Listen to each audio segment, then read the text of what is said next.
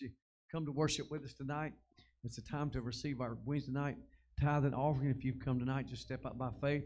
There'll be a walk down the aisle offering tonight, so just step out by faith and give to the Lord. And and um, as God sees fit, Sister Sissy, would you ask the Lord to bless the offering? This day. Thank you for the blessings of it, Lord. We just ask you right now, Father God, that you just be with us tonight, Lord. Father God, we just pray that you just pour out your spirit in this place like it hadn't been poured out in before. God, we just ask that if there's one here that don't know you, Father God, this may be the night that they come to know you. God, we just ask that you just take this offering now, use it for the In the name of uplifting of, your kingdom. For it's in your Son, Jesus Christ's name, we do pray. Amen. Amen. There's a river somewhere that's called Jordan.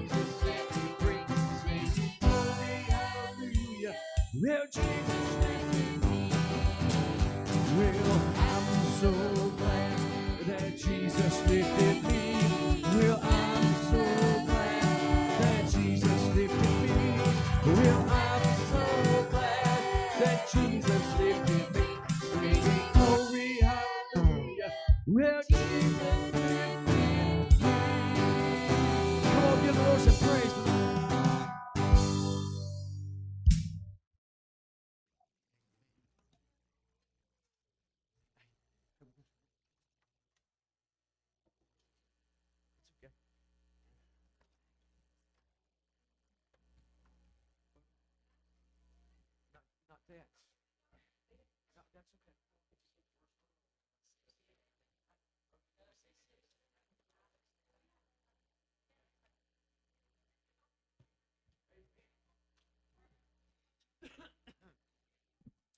okay. Amen. So glad y'all with us tonight. Y'all give the Lord a hand clap of praise tonight. Amen. We're going to dismiss our uh, nursery tonight. And I think the uh, teenage class will be staying out front. All the rest of you guys going to be just let's pray for our young people tonight and their teachers. Thank you, Lord, for those that have diligently prepared to teach our children tonight about you. Bless them in a mighty way, God. Show them the way that they might show our children the way and the pathway to you. In Jesus' name I pray. Amen. You are dismissed. Amen. Amen.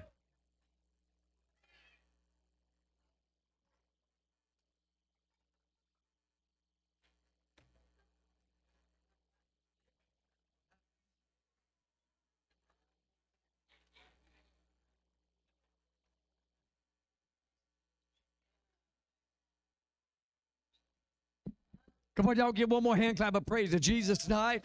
And while you clap, come on, welcome our youth pastor, associate pastor, Brother Johnathan Grimes. Come on.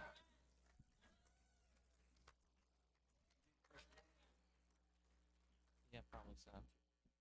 Praise God. Y'all can have a seat. You know, there for a moment I thought he's going to introduce me as his son-in-law too. I think it happens all the time when we when we go out. and say, "This is my son-in-law and youth pastor and associate pastor," and uh, so there for a moment that's what I thought he was going to say. Is this uh, my son-in-law as well? It's all right. You know what they say? You got to know people. I know some people. Amen. Y'all glad to be here? Well, I'd like to welcome you. Y'all know where you at? Amen. Y'all at Estelle Community Church. You don't find it by accident, do you? if you don't drive it, you own the church bus, but it's out in the middle of nowhere, praise God. But he's still moving, still working. So glad to be here. Uh, as always, I'm always thankful for the opportunity. Uh, I know where God's brought me from. I, I know y'all may get sick of hearing that, but I just I, I, I don't get sick of telling it. I'm, I'm, always thankful of knowing where God has brought me from. And, uh, uh, you know, if God's done anywhere near as much for you as He's done for me, you'd want to tell people too. That's part of the testimony, what Jesus Christ has done the redeeming, the forgiving, the, the deliverance. I mean, uh, just bringing you out. And if you if you can't tell people that, well, you, you may be ashamed. Praise God. And, and that ain't the message tonight, but I just want to get that out there. Praise God. You know, uh, when I was a, a kid growing up, I loved movies. Anybody love watching movies? Oh, okay. Got a few honest people in here. The rest of them's thinking, "Oh, what kind of movie, you know? I don't have a rock of stones or a bag of stones back here to throw at you. I'm, I'm not here to cast stones. Uh, I'm not practicing that part of the Old Testament. But growing up, I love movies. And uh, a few weeks ago on Tuesday night, which, you know, we come down here and we pray. And uh, I just lay before the Lord. And I, I really, I receive what the Lord means for me to receive. And uh, Jessica, my wife, she accuses me of falling asleep every Tuesday night. she says, I noticed you're down there for a while and uh, your hair sometimes is messed. I said, Jessica, I'm down there laying before God. She said, Well, you look like you're napping. But I'm not, praise God. Uh, any husbands know how your wife can give you a hard time? Amen. Praise God. Thank the Lord for them. And uh, so I was, a, a movie kind of come to my mind that I haven't seen in a long time. And uh, I just want to kind of, some of y'all might have seen it. Uh, it was made in 1993. I know that's been a while. If I had a bunch of youngsters in here, I'd be fearful that they wouldn't even know what I'm talking about. But the, the movie is about a young guy, and he loves to play football, which, you know, I love football, so it was easy for me to connect with. So he loves football, but he's small. He's not the strongest. He's not the fastest, but he still loves it. And his family had a team. Now, I know we can relate to that because in this state, usually you got one team or the other, right? Uh, I ain't gonna go in. I don't need. I don't need to start a riot in the church, or, or we here to shout Jesus, not that other stuff, regardless of which side you're on. But you know, some people they want to wear certain clothing. Praise God. and uh, Amen. Thank you, Jesus. Isn't that right, brother? Just praise God. Uh, and so his team was Notre Dame. And his family grew up watching Notre Dame football, and they loved Notre Dame, entire family. And uh, growing up, that's what he wanted to do. He wanted to play football for Notre Dame. And, and if you grew up here, I'm sure you had those dreams of either putting on the red and the white or the orange and the blue, right? So I'm sure you could relate to this, this young boy. And as he graduated high school, he was known as being the hardest worker. Worked harder than everybody else, but nobody would recruit him because he was just too little. So, like most people, whenever they can't play football at the next level, they go get a job. So that's what he done. He went and worked in the steel mill.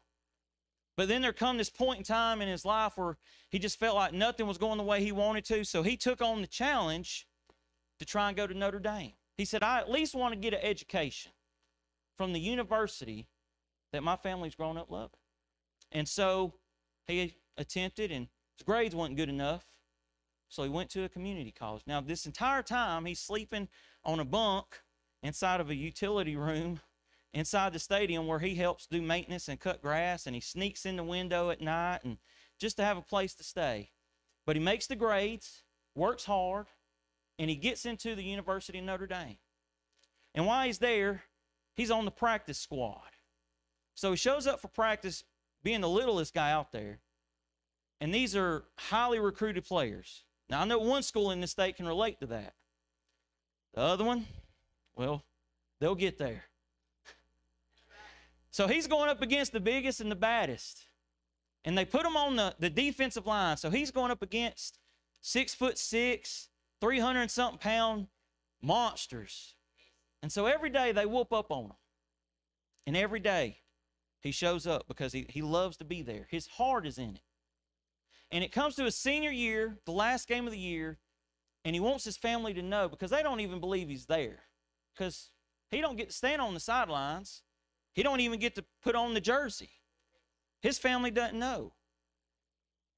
But there comes the last game of the last season that he's eligible, and the rest of the team has acknowledged how much heart he's given, how much blood he's put in, how much sweat he's poured in, that they are all even willing to sacrifice their spot on the roster so that he could play, so that he could have the opportunity just to stand on the sidelines, so that his family could see him wearing the jersey.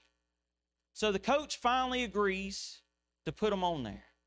Now, see, to be acknowledged as a official part of the team, it's more than just wearing the jersey. You've actually got to get in the game. You got to get on the field. You got to play at least one play. Even for all the national championship teams. If you get a ring, you got to play. If you don't play one play, you don't get a ring. That, that's the way it is, sister. So he gets in one play, and, and the way it starts is the coach doesn't want to do it, but then all of a sudden they begin to shout his name. One of the players start to shout, Rudy, Rudy. Some of y'all might remember, Rudy. And before you know it, the entire stadium is echoing this walk on little fella that nobody ever gave a shot, and he gets on the field. Now, that's all he played was a few plays. And that's based on a true story. A real young man who wasn't big enough, who got in for a few plays. And I asked myself, how does that get turned into a movie? How does how does that happen? How do you remember his name? Because that was in the 70s. So almost 20 years later, how do they remember that? His heart. When someone gives all of their heart to something, people remember.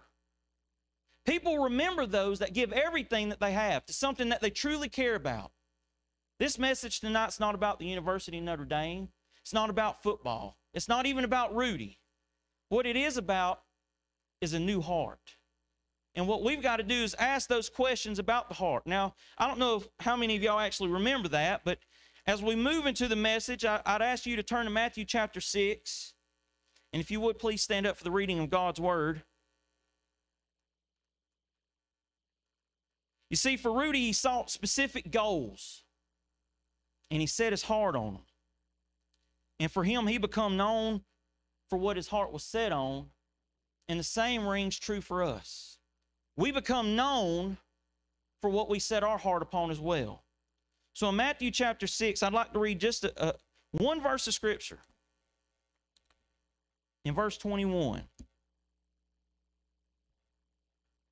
it says, For where your treasure is, there will your heart be also. Will you pray with me, please? Father God, I, come to you and I thank you so much, God, for allowing me to be your mouthpiece, Lord. And I pray, God, for your anointing. I pray for your spirit to abound. I pray, God, that if there's anyone here that doesn't know you, that's not truly turned their life and their heart over to you, God, I pray that tonight would be that night. I pray, God, that you would uh, allow our hearts to be open to your word and to your message, and that we would hear what you would want us to hear, God. I pray that you would you would be with every broken heart, for everyone that is struggling with a sin, God, with with all the things that we face in this life, God. I pray that you would you would be the one that we would turn to and the one that we would abide in, Lord, that we would set our heart upon you. I thank you for this opportunity once again, God. In Jesus' name I pray. Amen. You may be seated. Thank you. So, this scripture, though it's a few words, for where your treasure is, there will your heart be also. That's a short verse, but it says a lot. For where your treasure is, there will your heart be. So, the question that I have is where's your heart? What are you treasuring? What are you desiring? What are you wanting? What, what do you want in this life? What do you want to accomplish? Who do you want to be? Where do you want to be? See, all these questions come down to what you treasure.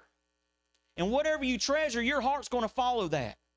See, for a little fella, he wanted to play at Notre Dame. What do you want to do? What do you want to do? Not, not, not just education, not in popularity, not in how many friends you may have on Facebook. Some care about that. I, I don't. Where's your heart? Because your your self is going to follow wherever your heart is. If you want to be a true Christian, if you want to truly live for God, if you want to move away from the sin, it's possible. But your heart's got to want to. You know, I hear a lot of people and, and they say, God can deliver them, but they've got to let God in. They've got to let God deliver them. They got, well, if they don't want the deliverance, if their heart is not in it, if that's not where their treasure is, then they won't receive the deliverance. They won't receive that freedom. But see, it's not just in the things that you do, it's also in the things that you think. See, right here in this these sets of chapters, 5, 6, and 7, this is one of the most prolific messages ever preached. The Sermon on the Mount. Jesus Christ delivers a solid message. If there was ever a preacher it'd be him. And he and, and and just before these this verse here, he says that if a man lusteth on a woman in his heart, he's already committed adultery. He's already done it. See, our sins are not just in our actions, it's also in the things that we think, because it's also in the things that are in our heart. See, what we put in does matter. What, what we let in will eventually come out and show us who we are. So, when we're thinking about the heart, maybe you've come to the place. I, I remember I got saved right over there. One, two, three, four, five, six. Oh, praise God, Sister Tiffany. I think I might have been sitting where you was sitting. I think it was that exact location. And I sat over there in that pew at 15 years old, and I come to a place that I think many of us have come to. Maybe you're still in it. I come to a place where I, I didn't like where I was. I didn't like who I was. I didn't like what was going on in my life. And I wanted something different. And I'd done heard about Jesus. I see, I'd sat in this church, in that little church for two years. I'd listened to the gospel preached for two years. So people might say, well, you know, I come to church. I sat in the church two years lost. I sat in the church two years without really letting God in, without releasing myself to Him. So I sat right where Sister Tiffany's sitting, and, and I wanted more. I wanted to be more. I wanted something, and I didn't know exactly what it was. But I'd heard Pastor Mark preaching, and I, and I said within myself, praying to God that I don't know if I can get up there, but God, if you'll send somebody to me, I'll give it all up. And the next thing I know, Pastor Mark slides right up next to me and begins to pray and talk with me. Now, I say that to bring up this point. You may be in that place, but you may have already been saved, but you may still be in that place. See, sometimes we think that once we come in, we get saved and we, we, we pray that prayer of confession uh, and, and profession of Jesus Christ. We think, well, well, everything is good moving forward. But life continues. There are still struggles. There are still heartaches. There are still brokenness. I got saved at 15, but my heart has been broken countless times. I can't tell you how many times I've just come down here and just cried out to God. Not that anybody else knew. Nobody else knew what was going on. Nobody else knew how much I was hurting on the inside, but God did. So I cried out to Him because I needed something more. You see, that heart, when I gave my life to Jesus sitting right over there, He gave me a new heart. He placed something new inside of me. Because here's the thing your heart, I don't know if you've ever thought about where your, your heart is located halfway between your guts and your mind. See, it's that place where your thoughts and your feelings come together to form who you are. And see, what we need is God to give us a new heart because the new heart forms new feelings. The new heart gives us new thoughts. See, we stop feeling the things that we used to. We stop thinking the things that we used to with the new heart. And see, I needed that right there. I needed God to take me from a heart of darkness and give me a heart of light. And maybe you're there tonight. Maybe you've come and you've sat in the church. Maybe you've heard Pastor Mark preach. But maybe there's still more. Maybe you've, you've held on to something. See, here's the thing. You've ever heard about scars? See, if I was to shave my head, I got to keep hair because there's scars all over. I got one where I fell through a, a glass coffee table when I was about two. Y'all can imagine where John Mark gets it. I got hit in the face with a baseball bat. I uh, I had a cinder block crack me in the head. Some remember that. And then I've, I've got where I got officially stamped as a cooey on the back behind my ear. So see, I've got scars, but see, with every scar, there's a story that goes with it. There's a purpose that the scars there. Something has happened. And guess what? The scars aren't going away. They're not. They're there. And see, in your heart, and on your heart, as you go through life, things scar you. Your heart becomes scarred. And maybe somebody does something, maybe somebody says something, somebody offends you, and maybe even me. And it's hard to let that go. It's hard to move past that. It's hard, hard. That scar is left on that heart. And you might have been saved for 10 years, but somebody done something five and you ain't let it go yet because the scar is still there. I want to tell you tonight, even though you have been saved and even though you have confessed Jesus, tonight what you need is a new heart. Because, see, the new heart won't have the scars. See, the new heart that Christ wants to put in you is not going to be tainted by life. See, we, we got to come for that fresh anointing. We talk about that a lot here.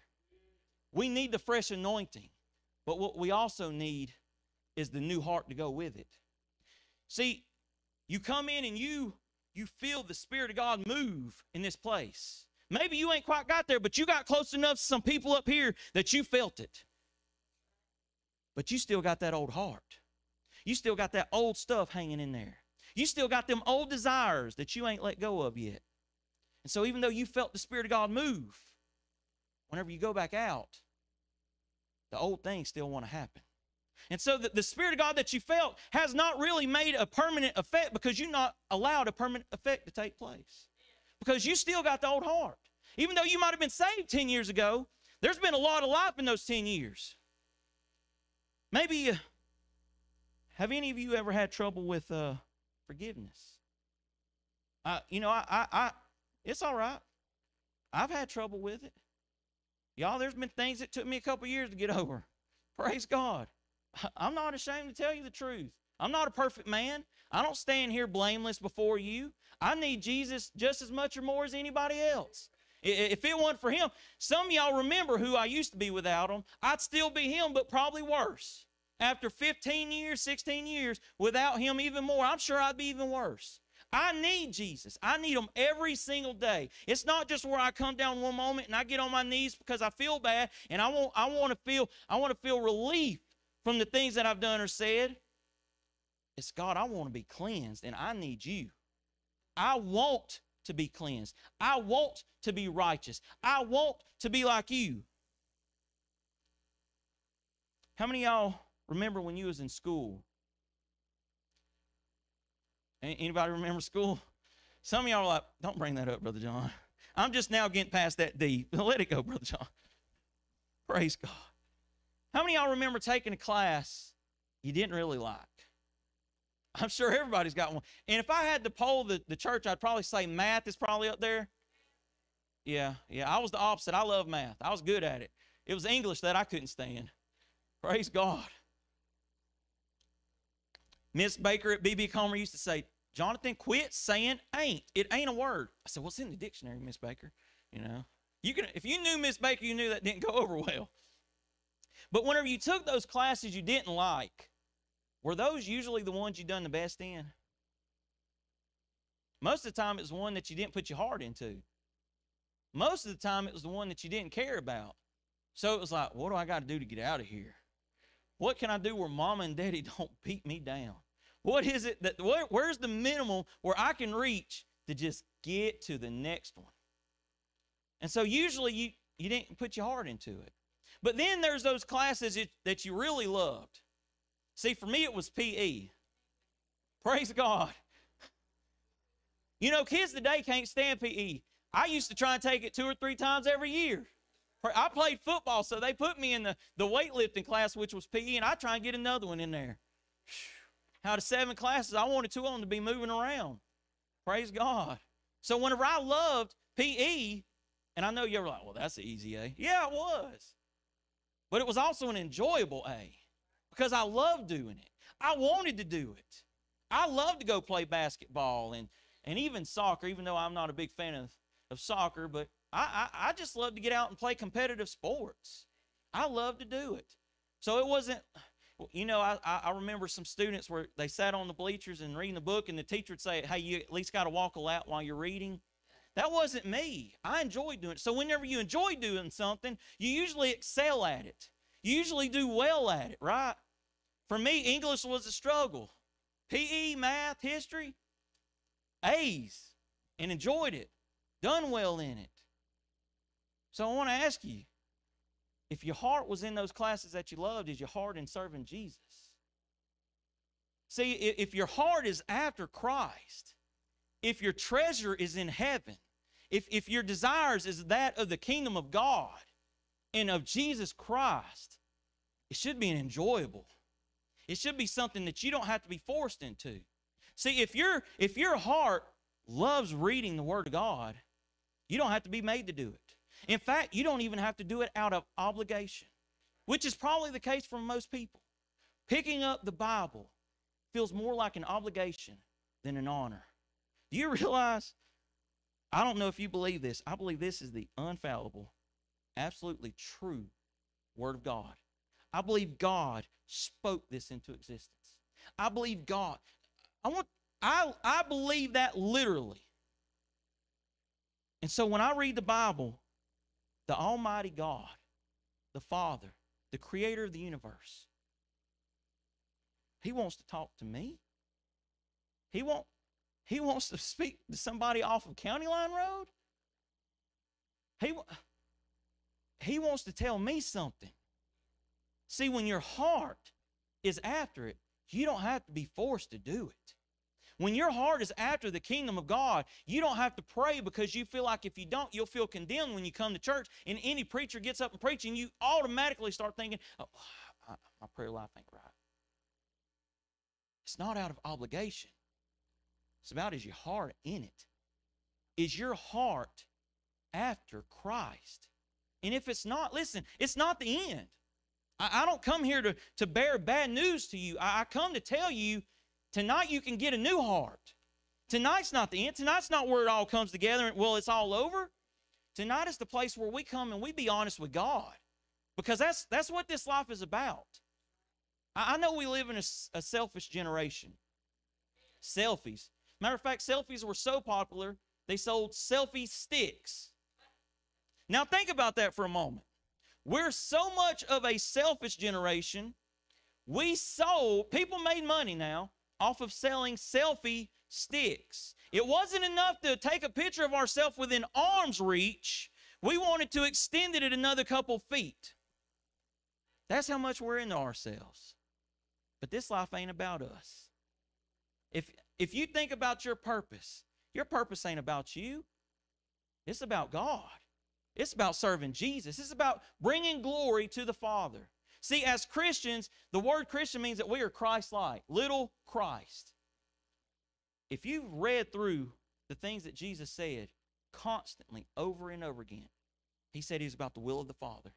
He said, I'm here to glorify the Father. My will is his will. He was about the Father. He was about the Father's business. At 12 years old, whenever he got separated from his mom and dad and they come to found him, don't you know I'm about my Father's business? Don't you? That's my purpose here. That's our purpose as well. We're not here for the kingdom of Johnathan Grimes. We're here for the kingdom of Jesus Christ. We're here to serve him. Well, how can we serve him and hold on to the old heart and the old desires and the old things that we want? We can't. If you will, look over to Ezekiel chapter 36.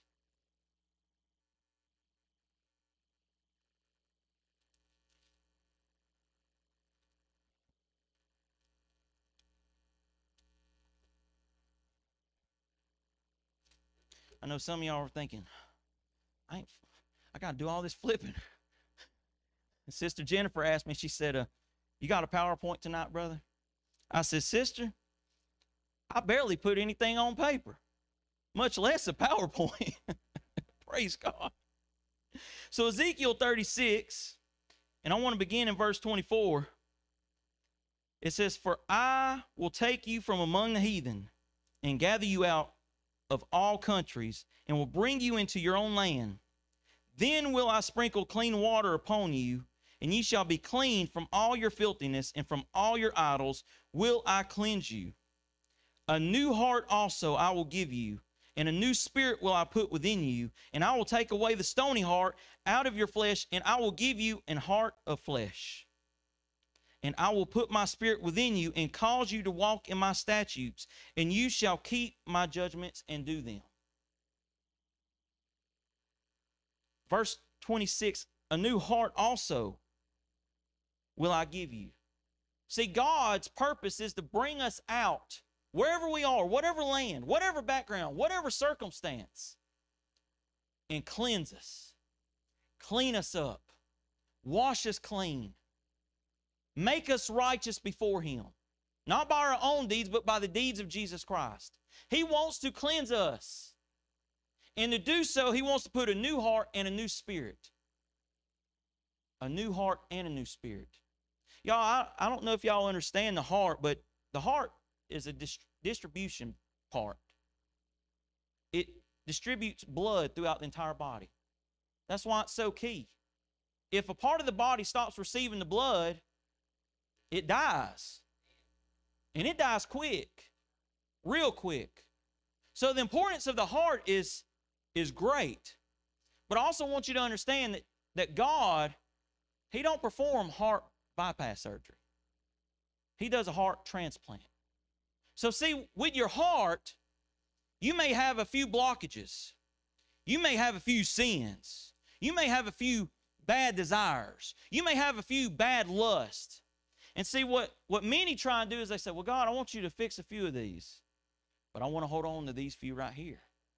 God, I don't want you to replace my entire heart. God, I want you to fix these two valves. Let the others stay clogged up.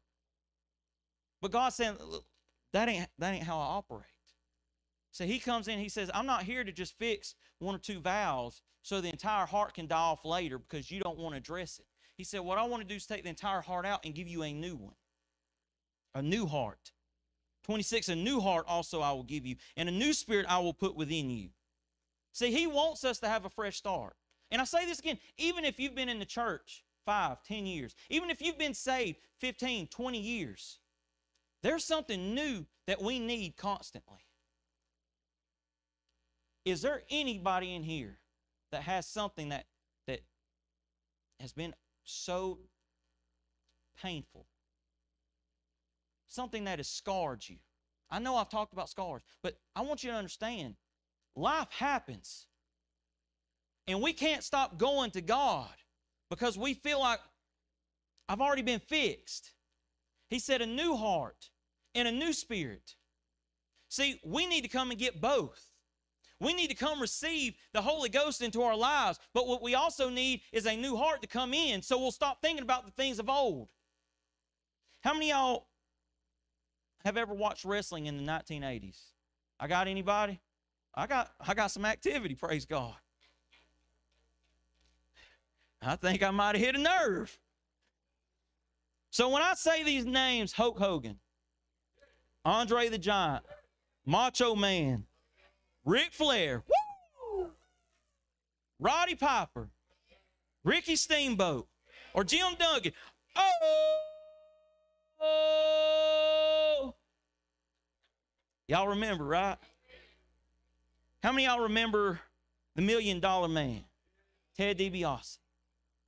I watched a documentary about him a few months back called The Price of Fame.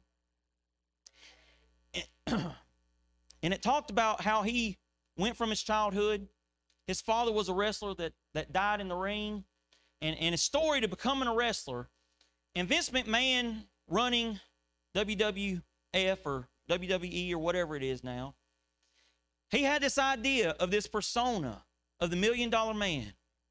And he said, You're going to ride in limousines, you're going to ride in jet planes, you're going to go out on the town at the hottest places, you're going to throw money around everywhere you go.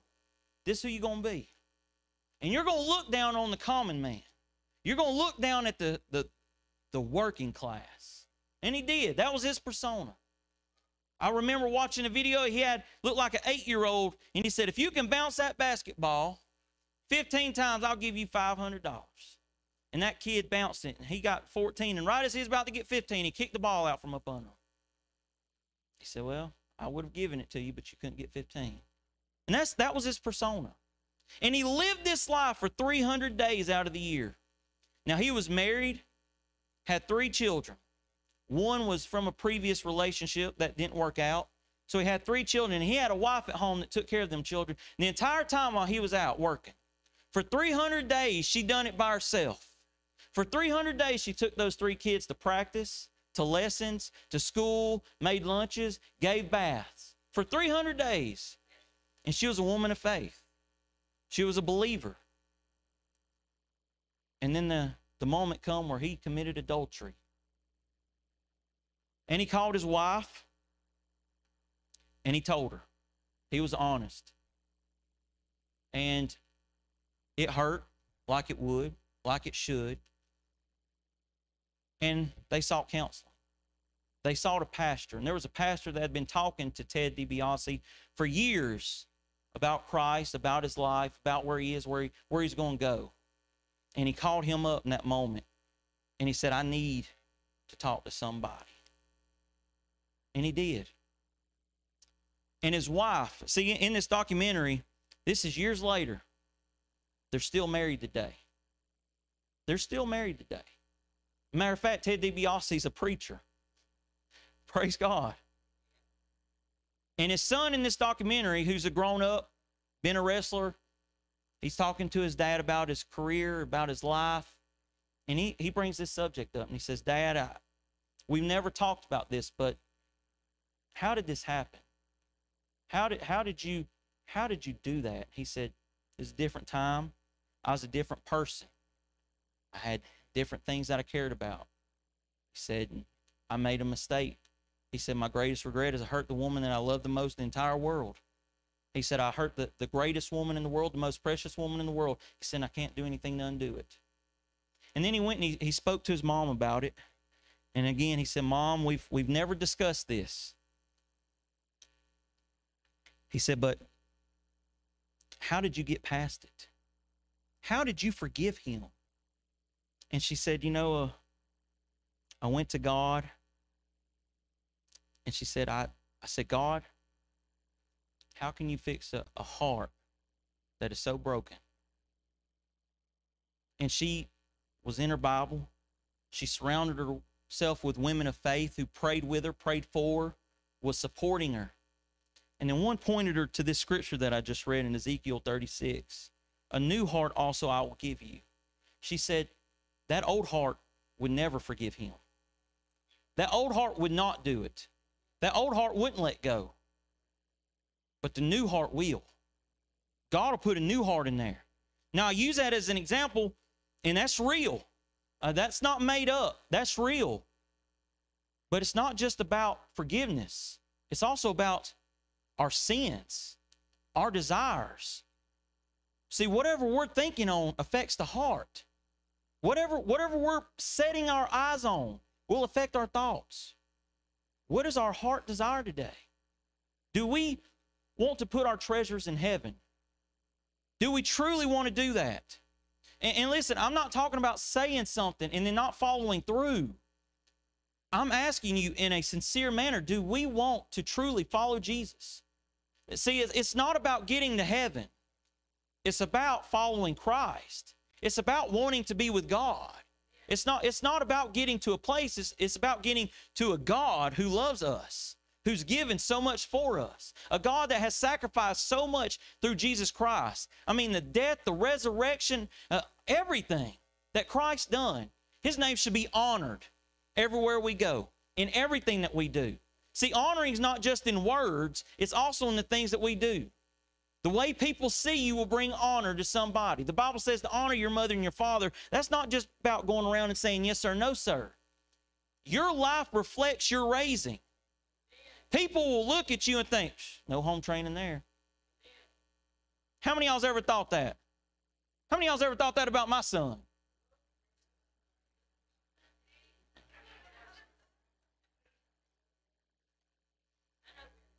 So, but that's true. People think, oh, there's no raising, no home raising. Well, you just dishonored your parents because people think, well, they didn't do nothing. They they done nothing absolutely. So our actions, the way we carry ourselves, the things that we say, the things that we do, they either honor God or they dishonor God. And so if we go around and, and we say, oh, I'm a Christian, but our heart is set on other things, then we're going to dishonor who God is. We're going to dishonor the name of Jesus by our actions. Psalm 37, verses 4 and 5 says, Delight thyself also in the Lord, and he shall give thee the desires of thine heart.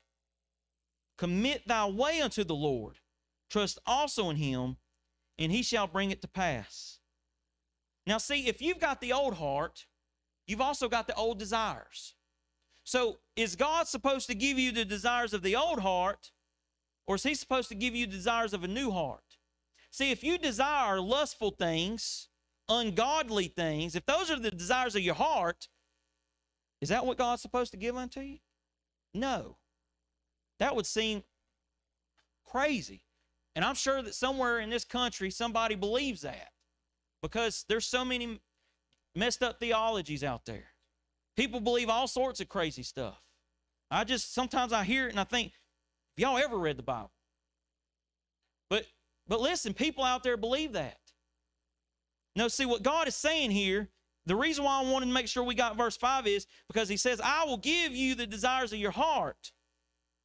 But verse 5 says what happens and how you get it. He said, Commit thy way unto the Lord, trust also in him, and he shall bring it to pass. See, the desires of your heart is not the ones of the old heart. The desires are the ones of the new heart that he wants to place in you. See, where you used to, to desire to watch filthy television, and see, when I say that, a lot of people, well, I don't watch that triple X smut pornography stuff. I'm not talking about just that. I can bring up the title of a show, and I can almost say there's a bunch of people inside Estelle Community Church that's watched it. And I don't want you to raise your hand. But Stranger Things is full of filth. Full of filth. Someone told me they were going to watch it, and it was so full of GD, they couldn't stand it. But there's people inside the church who continues to watch it. Why? Because your desires are not to follow God in what you watch and what you put in your mind. Your desires of that the lust of the flesh, which is to watch what you consider good television. But see, whenever you get the new heart, all of a sudden, I don't want to, I don't want to listen to that. Do you remember when you first got saved? Do you remember whenever you first had love for Christ? You began to shed sins away like crazy. Why? Because you had a new heart inside of you. But see, that new heart has put on a lot of sin, put on a lot of lust, carried a lot of baggage. And so, see, now that heart don't look anywhere near what it looked like when you first gave your heart to God. It looks nothing like that now. Why? Because we have to be redeemed again. We've got to be delivered again. And we've got to be given a new heart. But we got to want it. I want to ask you now do, do you want a new heart? Do you want your desires to be that of God? Or do you want to continue searching for the field? See, I, I, have been in a place where I thought I was serving God, and I wasn't. I was serving myself. And you come to church over and over again, you hear a preacher preach over and over again, and you feel like you're going through the motions. You feel like you're not getting anything. You feel like you're not going anywhere. You feel like nothing is happening in my life. I see the people who's receiving the blessings of God. And I'm not talking about houses and cars and, and junk like that because rust and moth will devour those things. I'm talking about the true spiritual blessings of God that God pours out on people. And you may be someone sitting in the church and you see what God is doing and you wonder, why is that not happening for me? Why am I not getting that? Why do I not leave here in laughter why is it I leave with a frown on my face as though nothing has happened since I've come into church? Because you're carrying the same old heart, the heart you walked in with, with all the battle scars of life, all the troubles and all the sins. You walked in with that heart and you walk right back out with it. You didn't come here and receive what God wanted you to receive because your heart did not want what God had for you. So you was lusting after the flesh. But tonight, are you ready to let it go? Are you ready for your treasures to be more? I want to return back to Matthew chapter 6, verse 21 for just a moment. I'm going to ask Brother Jeffrey to prepare and ask Pastor Mark to prepare. And I want to read this, this verse again. For where your treasure is, there will your heart be also. As I read the scriptures about Jesus, I've stated that I've I see that he was about the will of God, the glory of the Father. You know what that tells me? His heart was in the kingdom of God. That's where his heart was. As he was in the Garden of Gethsemane, and he knew that the betrayal by Judas was coming, he knew the guards was coming to take him away. He knew that he was going to be scourged and beat with a cat of nine tails, that the skin of his flesh was going to be ripped from his body, that his blood was going to pour upon the ground, and that he knew that they were going to hang him on that cross, where he was going to suffer and bleed and not hardly be able to breathe, the struggle to take one more breath. He knew it was coming. And he bowed before God and said, Lord, if it be your will, let this cup pass from me. But not mine, yours. Your will. Your will, God. Your will, Father. Not mine. Not what I want, but what you want. See, you may go through struggles and you may be in places that you don't want to be. Those are seasonal things. The question is, what are you going to learn for the purpose of God while you're there? What are you going to gain while you're in that moment? But keep your heart set on God. Jesus struggled, but he surrendered. And he had a heart after God. And tonight, that's the heart that we need. That no matter what is going on, there's no excuse. Do I need to describe what Jesus went through again? There, we don't go through anything remotely close to that. And He has given us power to overcome anything in our life. We don't have an excuse not to surrender to the will of the Father. But what we need is to receive the new heart so we'll want to. So tonight I'm going to ask Brother Jeffrey to play a song, and I'm going to ask Pastor Mark to come up. And I want to ask you tonight are you tired? Are you tired of the struggle? Are you tired of the sin? Are you tired of the life that feels like it's going nowhere? Are you tired of the old heart, desiring the wrong thing? Are you tired of coming to church and feel like you're not getting what everybody else has? Then I want to ask you to, tonight to come. Ask God for a new heart. Ask God to take the heart that is broken and give you a new one that is perfect in His will so that you can receive everything that He has in store for you. Let's pray. Father, in the name of Jesus, you said, Where our heart is, there our treasure will be also. Lord, you know what we desire. Not because we say it, but because what we do. You know, God, uh, our where our treasure is, where our heart is, because what we're investing our life in. Ourself or your kingdom. Ourself or your people. Ourself or the body of Christ. Lord, would you bring heavy conviction upon the church tonight? I, Lord, would you bring severe conviction that you would open our minds to the condition of our heart, that we might make those hearts pure tonight, that our treasure might be in you. Would you please come now? Say, God, there's some things that just hadn't been going the way you want them to go. Lord, it's not your responsibility, it's me. So, Lord, I turn my heart towards you tonight for a renewal, for a refreshing. Rekindle that fire, renew that desire, restore that relationship with that new heart. Just come tonight and just seek Him tonight. Brother Jeffrey, help us. Just come and just spend a little time with the Lord. Listen, it's between you and God. It's not between us and you. It's between you and the Lord tonight. You come now. Please come now and call on His name. Please come. He loves you tonight. My goodness, how He loves you.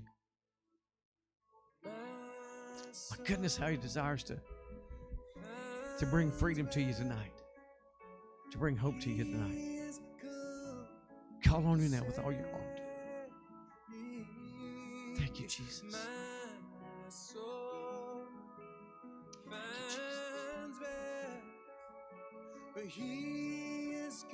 Thank you, Jesus.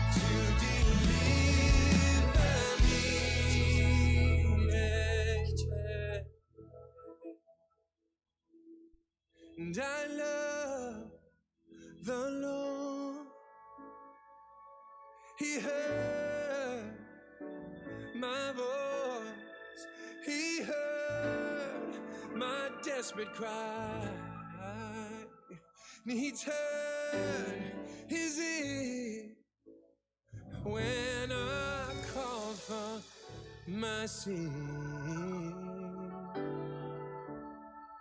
Oh, he heard my cry. Yes, he did. Oh, he did.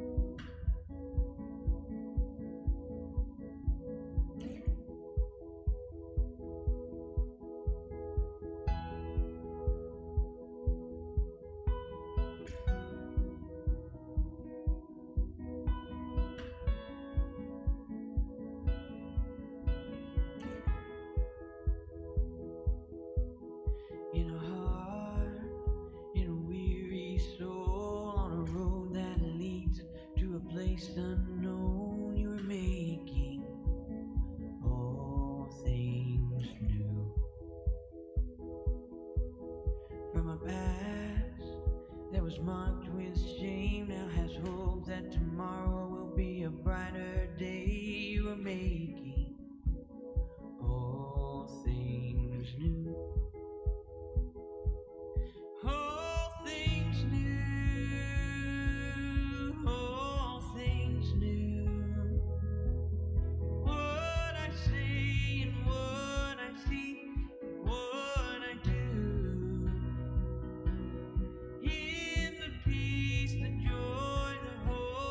bring